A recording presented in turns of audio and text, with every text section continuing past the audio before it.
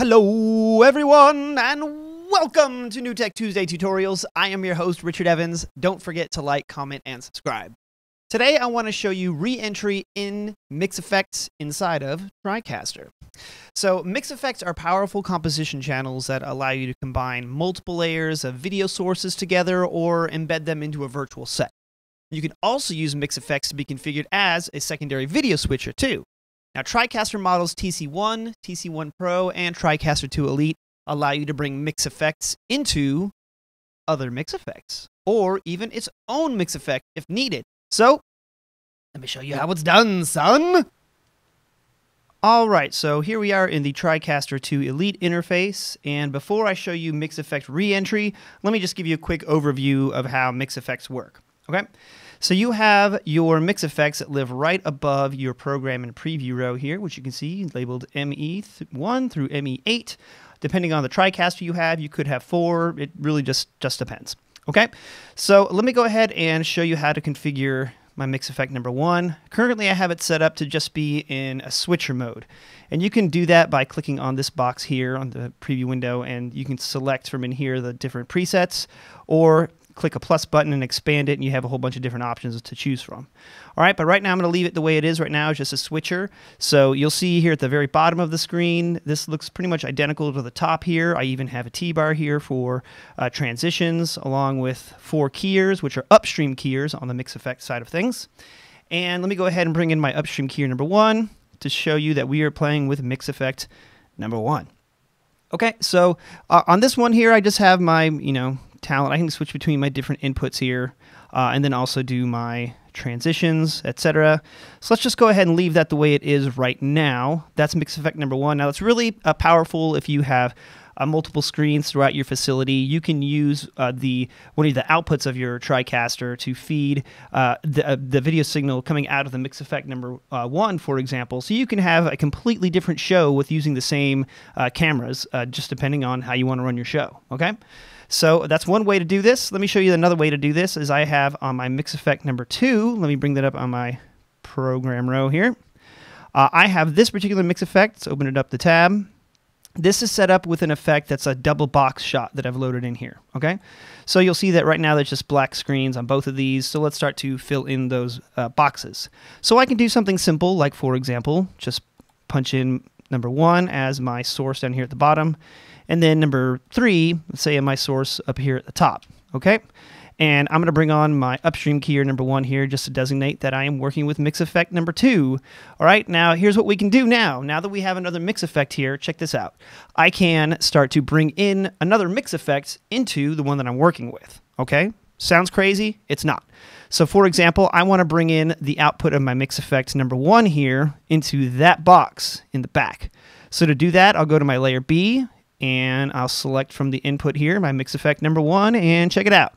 Boom, there we go. And because I have my lower third up there, it is uh, just corresponding here. So what's cool about this is now if I wanted to do any changes uh, to both mix effects, I don't have to write a complex macro to say, okay, let's do this, this, and this.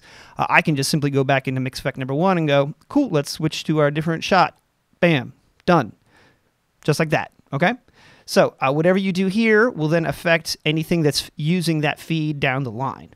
Okay, so now let's move over to our next Mixeffect, and I'm going to bring a mix effect number three to my program, and mix effect number two to preview, so we can kind of look at these as we start to stack stuff up.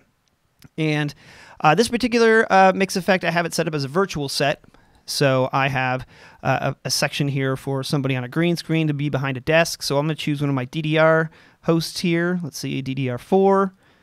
Oh, wrong one. Put that over there. DDR4. Boom. Okay.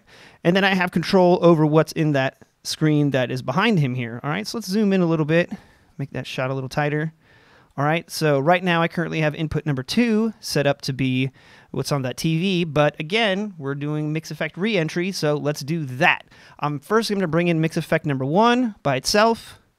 There we go. Cool. If I go back into mix effect number one and do any changes, that all corresponds. That still looks fine.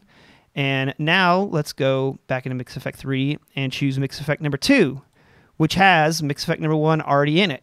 All right, Cool. So you can see how this is starting to be pretty powerful here. And again, if I do make any changes within mix effect number two, that will do, it'll just correspond uh, accordingly. So it, it's really uh, up to you how you want to arrange all these different shots. All right, let's go even further. Mad science. Uh, before I do that, let me bring up my lower third here, mix effect number three. So now we know exactly. So right now we have three layers of mix effects. So let's go to number four.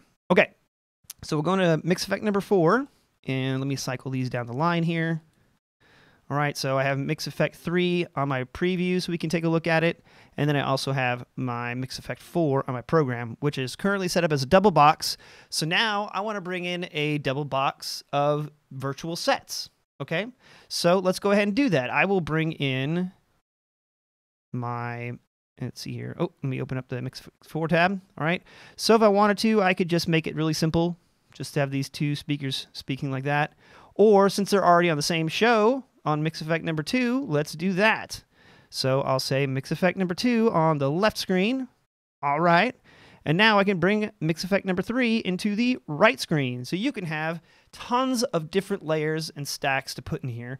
And this is just for an example, uh, just so I can show you the different layering that's in here. But there's a lot of different things that you can do to play with it. And whatever changes you make on one will affect the other, making it a lot simpler, not having to go through and change things all the way down on every single mix effect when you're in the middle of your show.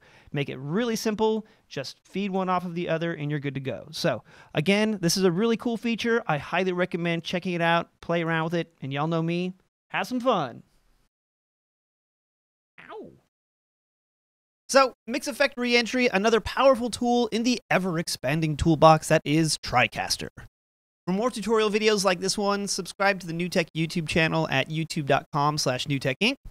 For formal NewTek product training, check out NewTek University at newtek.com slash newtek-u.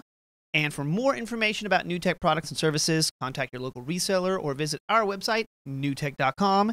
And you can also get yourself a free online NewTek product demonstration by signing up at newtek.com slash demo. It's pretty awesome.